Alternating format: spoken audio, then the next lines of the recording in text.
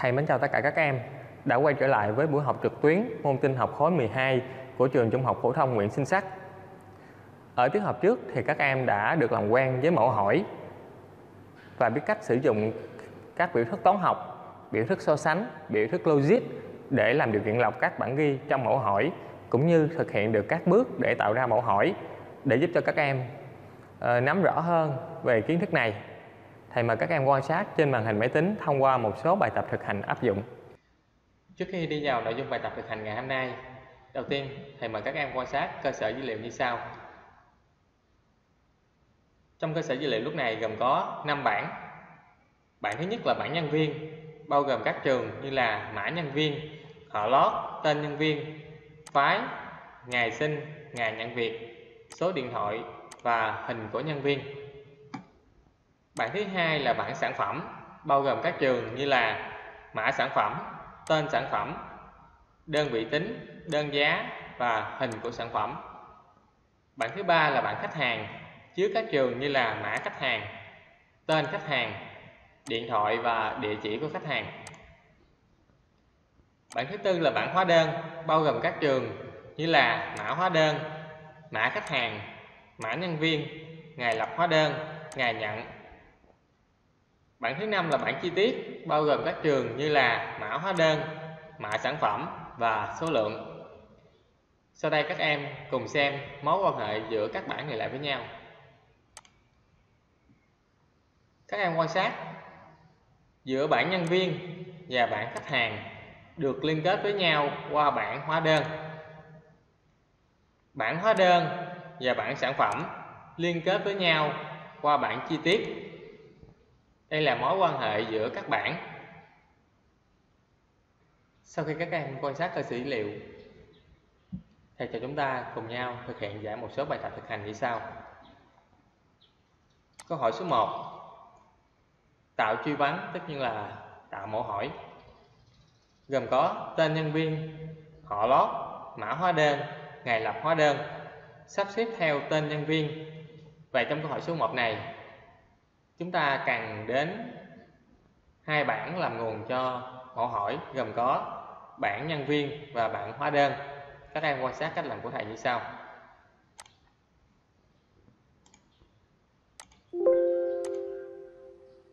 Bước thứ nhất, các em chọn create chọn query design bước thứ hai, chúng ta tiến hành chọn nguồn cho mẫu hỏi.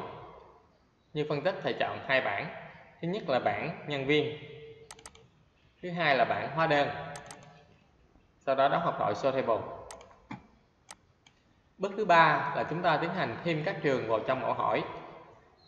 Đề bài yêu cầu chúng ta, tên nhân viên, họ lót, mã hóa đơn và ngày lập hóa đơn. Chúng ta thêm các trường như là mã hóa đơn, xin lỗi, tên nhân viên, họ lót mã hóa đơn và ngày lập hóa đơn. Sắp xếp tăng dần theo tên nhân viên.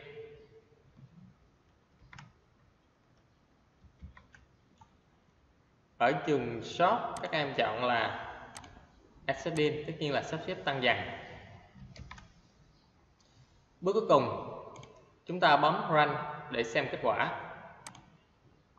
Thì đây là kết quả chúng ta vừa thực hiện tạo mẫu hỏi, gồm có tên họ lót mã hóa đơn và ngày lập hóa đơn. Trong đó, tên hóa đơn được, xin lỗi, tên nhân viên được sắp xếp tăng dần. Sau khi thực hiện xem kết quả, chúng ta bấm lưu, câu truy vấn. Để đặt đây là câu 1 thầy cho chúng ta cùng nhau thực hiện câu hỏi thứ hai. Rồi trong câu hỏi thứ hai yêu cầu truy vấn dữ liệu gồm mã hóa đơn, tên sản phẩm, đơn vị tính, số lượng đơn giá, thành tiền bằng số lượng nhân đơn giá. Trong câu hỏi thứ hai này, các bảng làm nguồn cho mẫu hỏi gồm có bảng hóa đơn và bảng sản phẩm. Ở đây thầy sẽ thêm hai bảng này trước để tạo nguồn cho mẫu hỏi. Bước thứ nhất các em vào Create, chọn Query Design như đã phân tích thầy chọn bảng hóa đơn và bảng sản phẩm Tuy nhiên giữa bảng hóa đơn và bảng sản phẩm liên kết với nhau qua bảng chi tiết thì ở đây thầy sẽ thêm bảng chi tiết và đóng hộp thoại sortable. Bước thứ ba là chúng ta thêm các trường cần thiết vào trong mẫu hỏi. Đề bài yêu cầu chúng ta gồm có mã hóa đơn, tên sản phẩm, đơn vị tính, số lượng và đơn giá. Để tính toán tột thành tiền, các em quan sát cách làm như sau.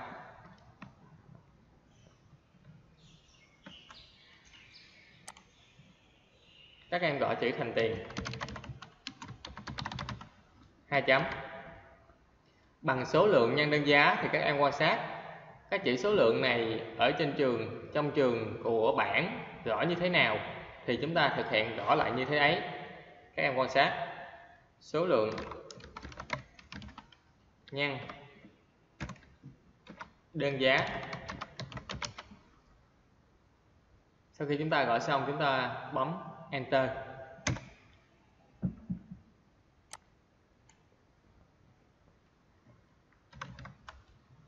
cuối cùng chúng ta bấm run để xem kết quả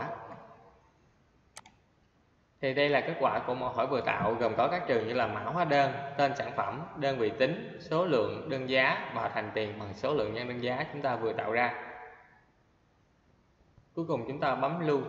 Thầy cho chúng ta cùng tiếp tục nội dung câu hỏi số 3. Đề bài yêu cầu hiển thị danh sách nhân viên của công ty gồm có họ và tên. Họ và tên này được ghép từ họ lót và tên. Hiển thị ngày sinh và tuổi đời của nhân viên đó. Cuối cùng là sắp xếp theo tên. Các em quan sát cách làm như sau. Bước thứ nhất, chọn create chọn query design bước thứ hai, chọn nguồn cho mọi hỏi. Ở đây chỉ có một bảng là nhân viên. Thầy chọn là bảng nhân viên. Sau đó đóng hợp thoại Table đề bài yêu cầu chúng ta hiển thị.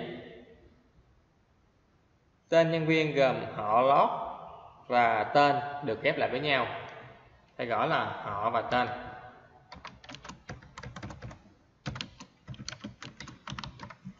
Hai chấm.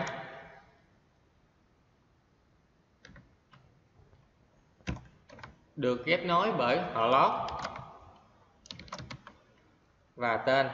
Các em ghép lại bằng dấu và sau đó một khoảng trắng và ghép lại với tên. Lưu ý là chúng ta gõ không dấu nha các em. Sau khi thực hiện xong, chúng ta click enter. Và tiếp theo là ngày sinh, tuổi đời. Chúng ta chọn ngày sinh. Chúng ta chọn tuổi đời. Tuổi đời thì bằng cách lấy năm hiện tại trừ cho năm sinh thì chúng ta sẽ được tuổi cách làm đó như sau. Hai chấm. Chúng ta lấy năm hiện tại, year. Để lấy ngày hiện tại, chúng ta dùng hàm day. Và trừ cho năm sinh, chúng ta dùng hàm year. Trừ cho ngày sinh.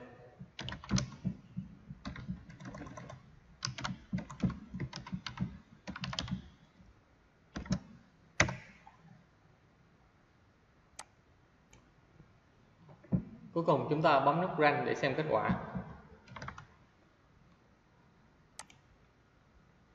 Và đây là tên nhân viên đã được ghép nối.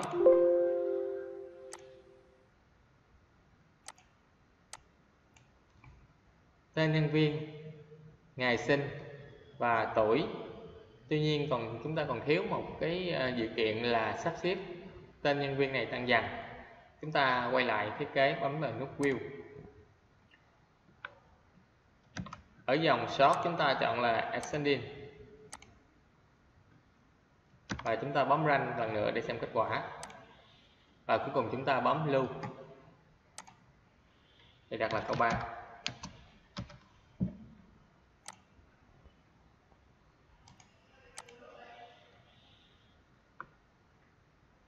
Thầy cho chúng ta cùng chuyển sang nội dung câu hỏi thứ tư.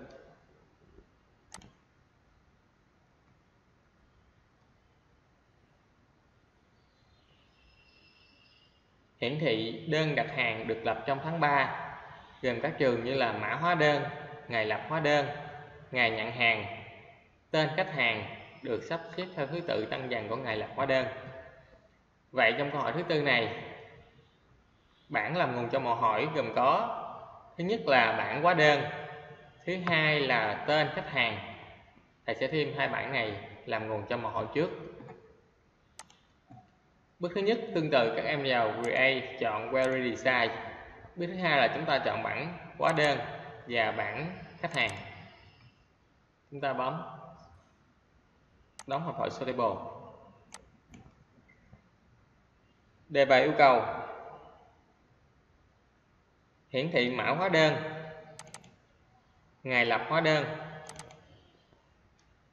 ngày nhận hàng và tên khách hàng. Trong đó,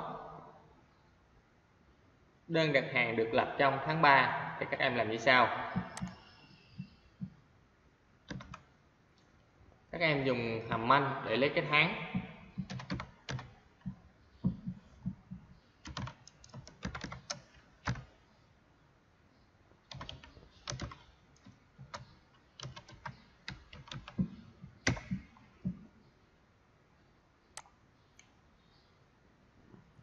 Và điều kiện chúng ta là bằng 3 các em gõ số 3 tại dòng criteria và cuối cùng chúng ta bấm run để xem kết quả.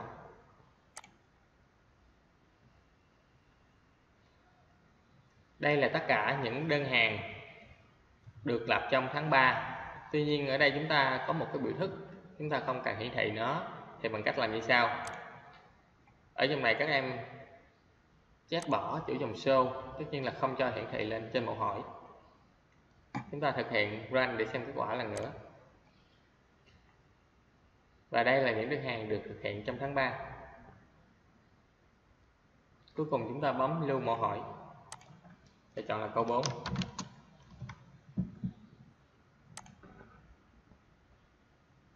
thầy cho chúng ta cùng chuyển sang nội dung câu hỏi thứ năm. Đề bài yêu cầu hiển thị các hóa đơn của nhân viên số 4 và nhân viên số 5 gồm có mã hóa đơn, trị giá thì bằng số lượng nhân đơn giá. Theo như yêu cầu của đề thì chúng ta cần có các bảng làm nguồn cho mẫu hỏi gồm có bảng nhân viên và bảng hóa đơn.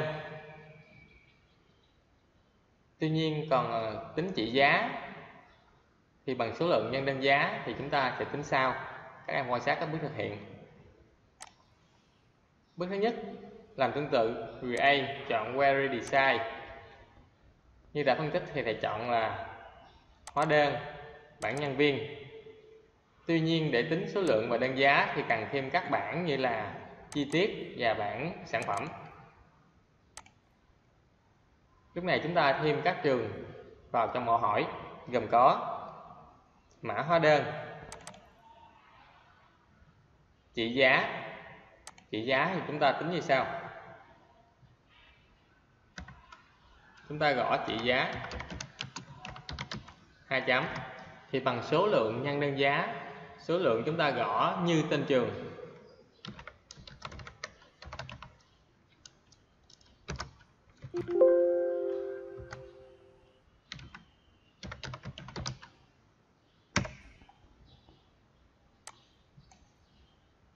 Và cuối cùng, hiển thị nhân viên số 4 và số 5 Chúng ta thêm mã nhân viên.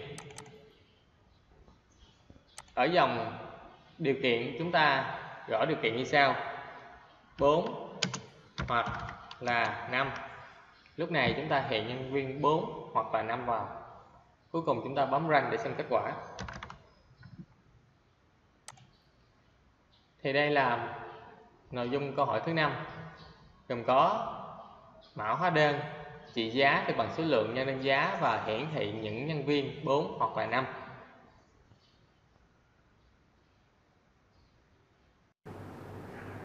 Vừa rồi các em đã được xem các thao tác mà thầy thực hiện, cách xây dựng mẫu hỏi, cách sử dụng biểu thức trong từng bài tập cụ thể.